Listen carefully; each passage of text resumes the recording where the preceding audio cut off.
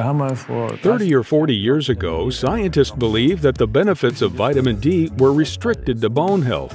Now we know that vitamin D is essential for all the body cells because it isn't really a vitamin. It's a hormone. Hormones are necessary for maintaining cell metabolism in all our cells.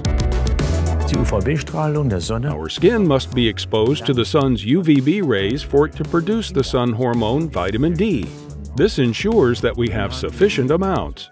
It works 15,000 units in just a few minutes. You won't keel over and die if you don't have enough vitamin D, but your genes won't be used properly to produce certain substances, and so you won't be in top shape.